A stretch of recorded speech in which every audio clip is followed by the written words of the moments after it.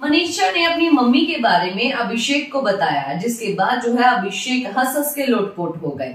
आखिरकार ऐसी क्या चीज़ है मनीषा की मम्मी में, जिसके बारे में जान के काफ़ी ज़्यादा खुश हुए, लोटपोट हुए? चलिए आप लोगों को बताते हैं, जो कि आने वाले एपिसोड में जो है आप लोगों को बहुत ही दिखाया जाएगा, अगर आप लोगों ने लाइव फ़ीड नहीं देखा।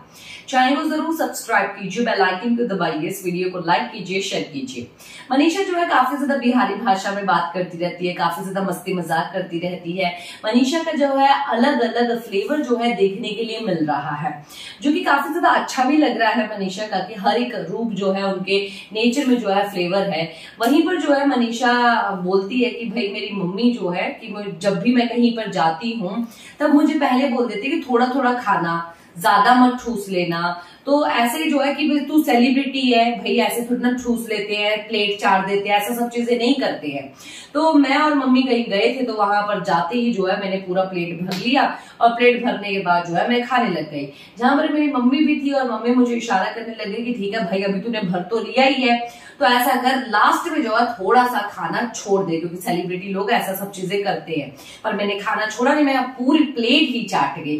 जिसके बाद मम्मी ने ऐसा डांटा, मुझे ऐसा डांटा डांटा क्या? गाँव में वापस आने के बाद जो है, सब लोगों को अपनी बिहारी भाषा में जो है, इतना सब चीज़ें बोलती हुई नज़र आई। मेरी बेटी ने मेरे नाम बिगाड़ दिया है। इस तरीके से खाती है सेलिब्रिटीज की जैसा नहीं रहती है। वगैरह वगैरह। और ऐसे टोन में एक्चुअली मैं अपनी बिहारी टोन में बोलती भाई, मुझे तो बिहारी नहीं आती। अगर आती होती तो मैं डेफिनेटली आप लोगों को वो भाषा में वो सब चीज़ें बोल के बताती। पर सच में वहाँ पर इतनी तरीके से मनीषा बता रही थी अपनी मम्मी के बारे में, जहाँ पर बेबी का आलिया और जो अभिषेक थे, वो हंस हंस के लोटपोट हो गए।